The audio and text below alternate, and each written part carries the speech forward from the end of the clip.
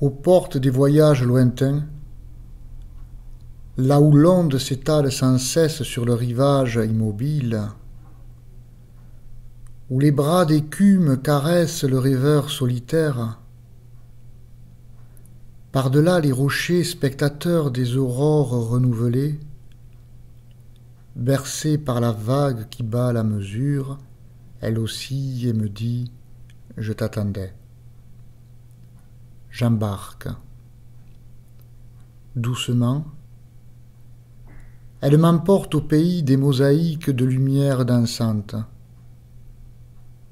Alors seulement, mon esprit peut se confondre avec la ligne de partage et oublier les souvenirs des terres figées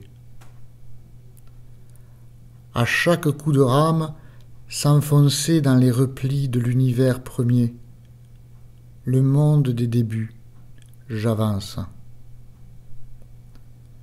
Atome singulier, vaisseau traversant les espaces où les mouvements liquides ne marquent plus le temps, je me perds.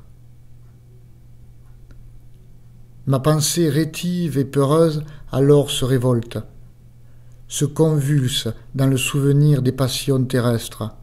Ne pas mourir et pouvoir encore goûter aux liquides sucrés et aux potions amères. J'expire.